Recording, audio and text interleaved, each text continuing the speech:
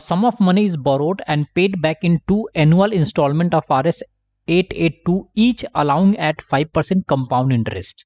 The sum borrowed was, देखो, इस तरह का क्वेश्चन अगर आप इस परसेंटेज के वैल्यू से सॉल्व करोगे तो बहुत आसानी से सॉल्व कर सकते हो। फाइव परसेंट का क्या मतलब होता है? फाइव परसेंट का मतलब होता है सिंपली वन अपॉन ट्वेंटी तो अगर आपने ट्वेंटी रुपीज़ कर्ज लिया होता तो फाइव परसेंट के रेट से एक साल बाद आप इसको कितना रिटर्न करते हैं? ट्वेंटी से एक ज़्यादा दैट इम्प्लाई ट्वेंटी वन और आपको पता है वन ईयर के लिए एस आई और सीआई दोनों सेम होता है।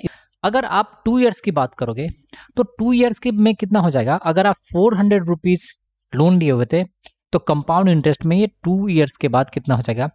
सिंपली हो जाएगा फोर फोर्टी वन ये क्लियर है?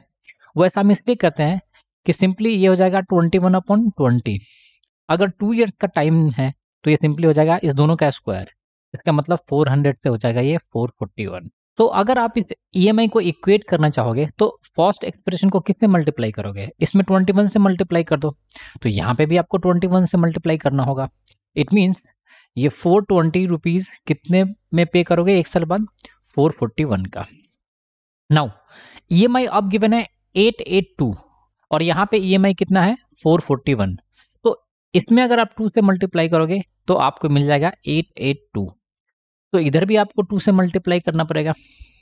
तो ये मिल जाएगा आपको एट हंड्रेड इसमें भी आप टू से मल्टीप्लाई कर दो तो आपको मिल जाएगा एट एट टू तो यहाँ पे भी आप टू से मल्टीप्लाई कर दो तो ये आपको मिल जाएगा एट फोर ज़ीरो तो ये मिल गया आपको दो ईएमआई और ये दो मिल गए आपके प्रिंसिपल तो टोटल प्रिंसिपल कितना हो जाएगा? 800 और 840 that implies one six four zero और यही आपका क्या होगा? Answer option number B so thanks for watching the video if you like the video do subscribe the channel and share the channel with your friends